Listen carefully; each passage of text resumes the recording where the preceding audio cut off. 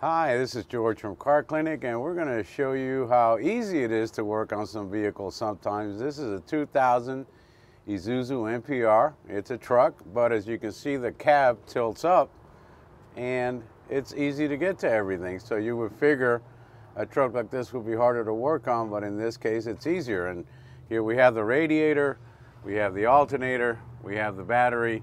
Of course, this is the engine, and the irony about this engine is this is a Chevy 350 engine. That's right, a Chevy 350 engine in an Isuzu truck. But very easy to work on, and these trucks last for a very long time, but uh, they also need to be maintained. It's very important to do your oil changes and your tune-ups on time so you don't have any problems. As always, thank you for watching the videos. Call us at Car Clinic if you have any questions. Thanks.